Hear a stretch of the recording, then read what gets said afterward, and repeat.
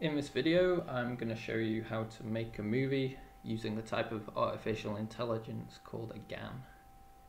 GAN stands for Generative Adversarial Network. Um, these take images, typically thousands, they learn features of these images, and then generate unique images with similar features. And that's exactly what you're looking at right now. This is not a photo of me, I wish I was this photogenic uh, nor is this a photo of anybody. As the website address indicates, this person does not exist. Um, this is generated by a GAN, which has been trained with thousands of images of faces. It has learned the features of different faces, and it is therefore able to generate unique faces that look really realistic. Equally, we could give a GAN thousands of pictures of cats. And it would learn to generate unique, realistic images of cats. Don't worry, this probably all sounds very complicated, um, but that is as technical as it's going to get, I promise. Uh, you don't need any coding experience um, or any familiarity with AI to do this um, tutorial. All you need is a Google Drive account.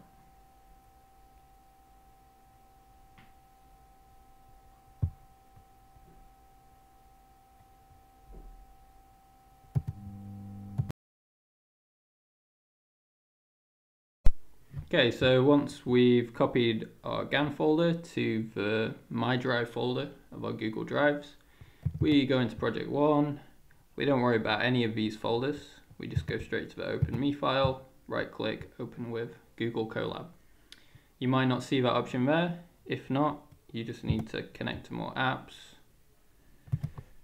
search it, and install. Then when you go back you'll see the option available. So we open this file. This is the only file we're going to need to make the movie. And then, as you can see, we're just six steps away from making a movie.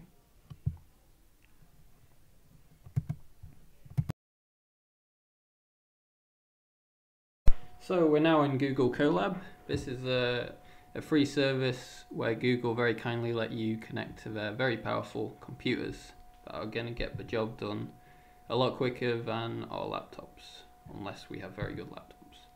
Uh, so first thing we're going to do is connect to one of these computers.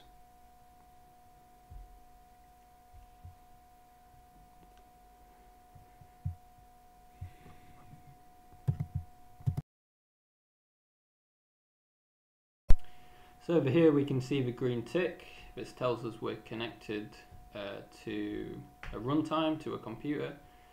And now we can get started. First, we have a bit of initial setup to do.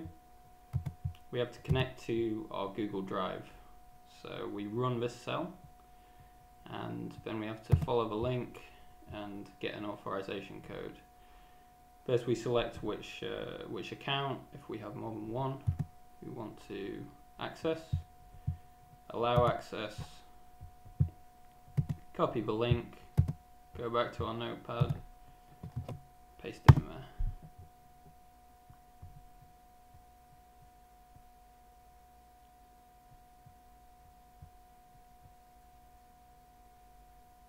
Okay, and it says we're connected, so that's great, no errors.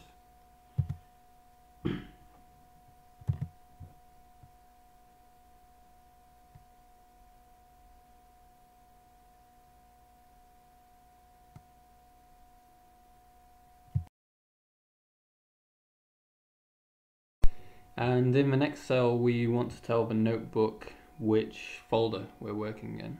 So we just need to make sure this name here matches the name of the folder we're working in here. So we could have another folder called project 2 and if we were in that folder we just need to change this to project 2 for example. After we've done that we don't worry about any of this, we just need to run the cell.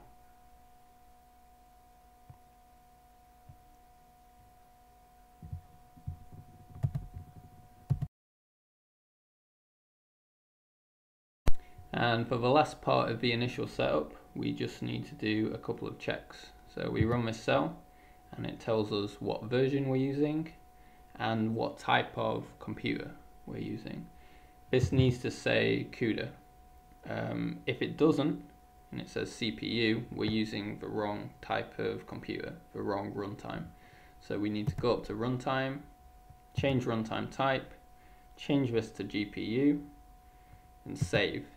This will then reset our runtime here, and we will need to rerun these three cells again, and then it should say CUDA.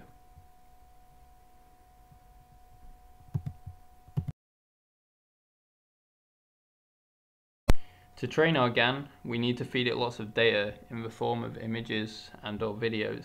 But first this data needs to be processed, and that brings us to step two. Uh, first, we need to add all our data, all our videos and images into the data raw folder. About a thousand images is a good amount. Um, here I've got about 2,000 images of sunsets. Then we go back to our notebook and then by running this cell we will convert our videos into images and our images will then be square cropped and their resolution will be reduced. But before we run this cell, uh, we just need to specify two parameters. So if we want our images to be converted into black and white, we change this value to zero. And this parameter specifies how how often we grab a frame from our videos. So the lower this number is, uh, the more images we get out of our videos. Uh, so if this uh, parameter is one, one second, it means we grab a frame every second from our videos. So a 60 second video will give us 60 images, but we can reduce or increase this number as we as required. So let's run that cell.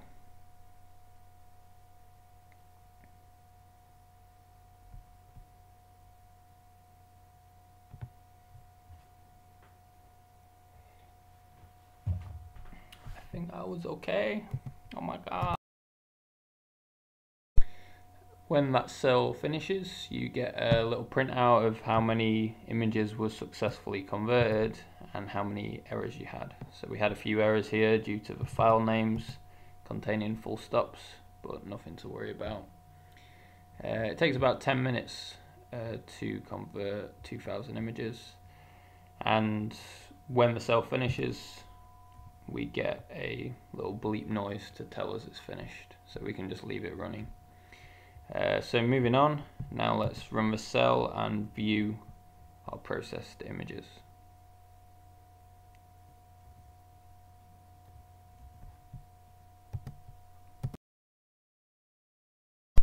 After about a minute or two, you should uh, see a nice grid of 64 samples of your processed images. If you've got any problems with them, you can always go to the data folder, into processed, images, and this is where they all are. Uh, so you can always delete one or two of them if you need to, or the whole folder and start again if uh, they're no good.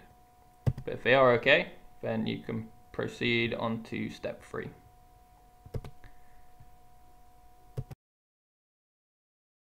So moving on to section three, uh, here we're going to specify some variables for our training. First of all, we just need to check that our folder name here is the same as what we specified up here in cell 1b. Then we can specify the resolution the images we want to create. So at 64, this would create images that are 64 by 64 pixels. This is always a good starting point, and then we can always move on to 128 by 128. Or we can even go lower. Uh, number of channels, uh, this is just specifying whether our training images are black and white or color and then these three variables are specified in relation to our image size, me instructions on how to do that are here. Advanced settings, hopefully we don't have to change any of these, but maybe if you run into problems, we'll, we'll change a few of those. And this we don't edit at all. So if we've changed any of the configuration, uh, we need to run this cell. And then this then writes uh, a file to our Google Drives. And it's very important that if we do overwrite that file, we go we restart our runtime. And we can see it here reinitializing. And once we've got the green tick, we also need to go back up to the top and run these first two cells again.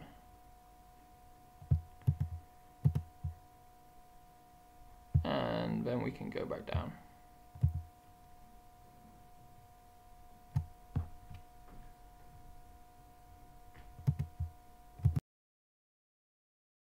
Okay, so we're now ready to train our GAN. So if we expand section 4, um, all we need to specify here is the number of epochs that we train for. So this is the duration of our training. And the more we train our GAN, uh, the more our generated images will resemble our training images. Just to show you an example, I'm just going to run for one epoch to start with.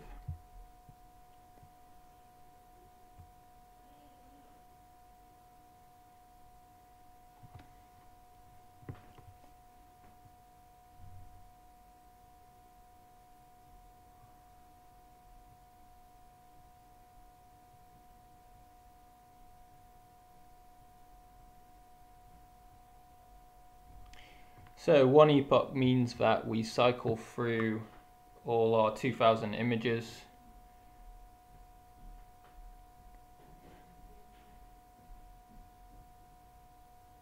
So an epoch means that we run through our 2000 images one time.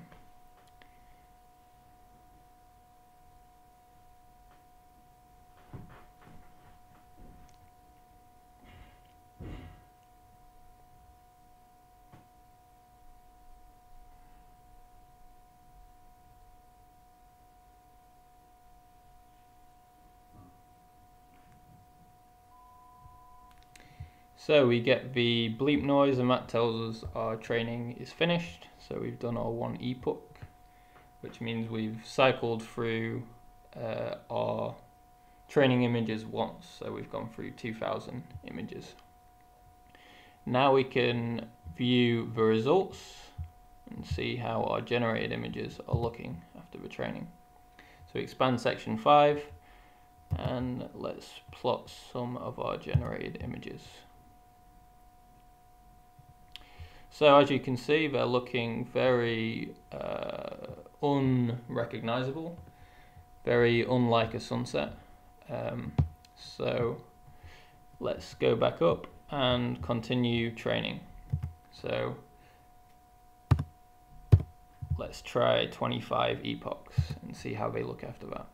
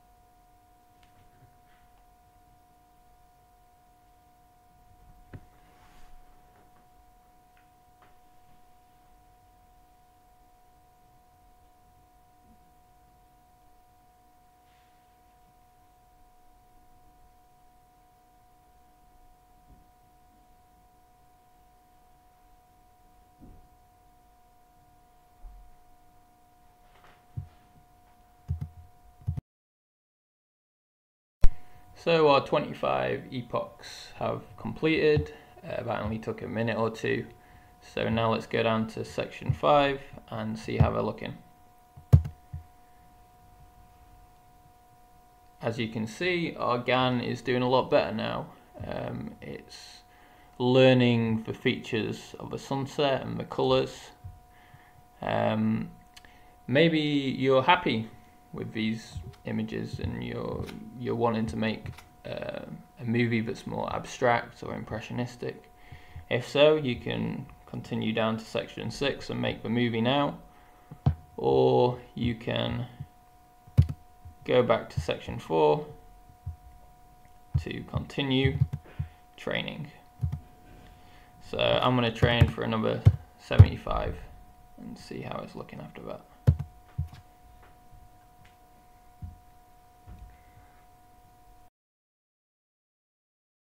So about five minutes later our additional 75 epochs are complete.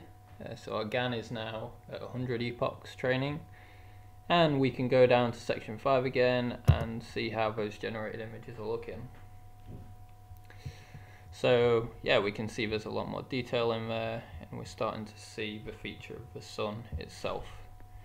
Um, if we decide to continue training from here it's always a good idea to save our model because training a GAN is a very fickle process and it can often completely collapse and we're left with static noise once again. So uh, saving checkpoints is always a good idea. So we can go to the bottom of the notepad uh, and specify a relevant model name here, run that cell and that saves our model. We can verify that by going to project folder. And all our models live in this folder here and we can see there it is.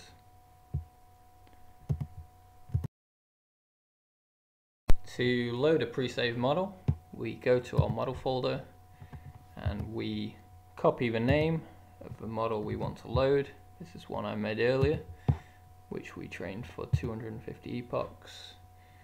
We go back to the notepad and put this name into the load model cell, run that cell, and we've loaded the model. We can then continue to train or do as we please. So let's generate some images and see how they're looking at 250 epochs.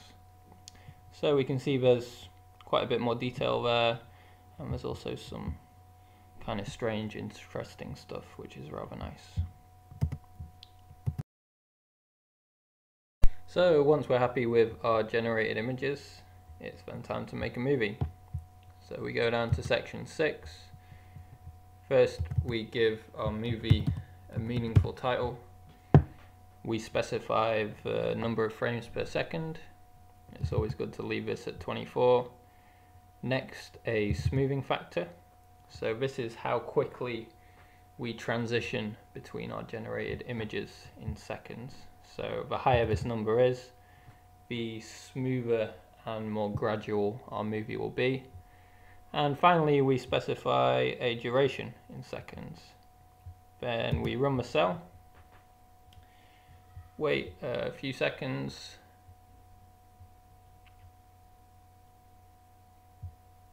and our movie is done. And we can then watch our movie by going to our project folder, video, and here she is.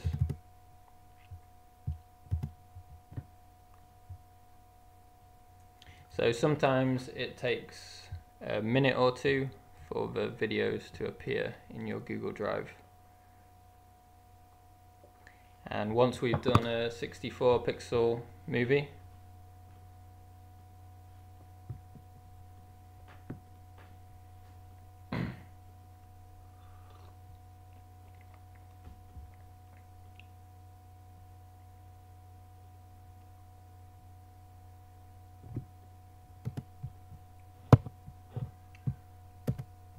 Okay, I think that's fine. Movies and videos are a great way to train our GAN because they contain lots of images. Uh, with just a few minutes of uh, video containing thousands of images. uh, and I'm going to show you two ways of how you can get hold of videos or movies to train your GAN. So one way for movies is we go to publicdomainmovies.net and this is a, a, site containing lots of movies in public domain uh, so movies without copyright. And you can just browse through them and download any of them straight off a website. You just go to download movie.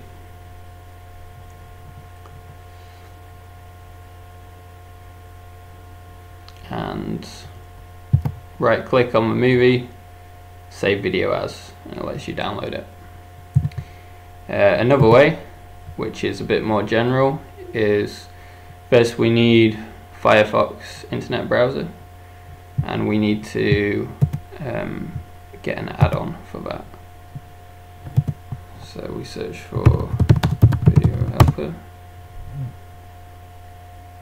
And this is the add-on we need. Video download helper. If you don't have that you just install it follow the instructions and then you should get this little icon appearing in the top right of your browser and once you've got that you can go to any website containing videos so YouTube Facebook Instagram and search for the video you want and just go to that icon in the top right and it should give you the option of downloading it in a few formats. You click the download and yeah usually select use companion app. And in a couple of minutes that video will then appear in your in a folder called DW helper that will be somewhere in your in your personal drive somewhere uh, like in the home directory. And once we've got a video to train our GAN with you just need to go back to um, your Google Drive with the, the GAN folder, project one and in the data folder you just need to put your video in the raw folder and then follow uh, instructions on how to process that video into uh, individual images to use for training our GAN.